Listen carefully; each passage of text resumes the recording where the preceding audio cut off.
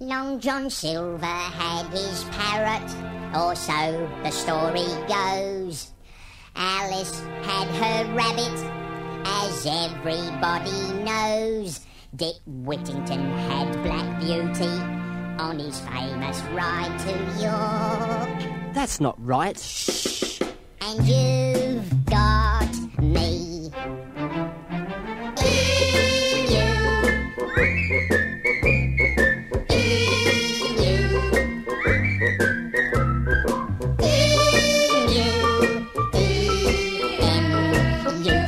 Along that day to watch a cricket match. The batsman hit the ball so high I made a perfect catch. Remember, everybody jumped up and they shouted one and all. He's a clever emu, but he swallowed our ball.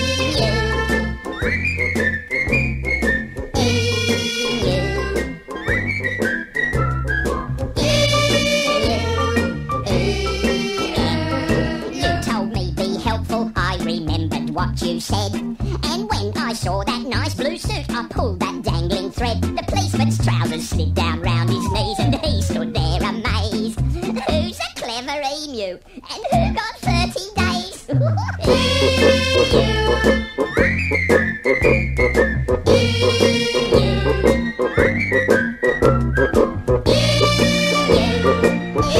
You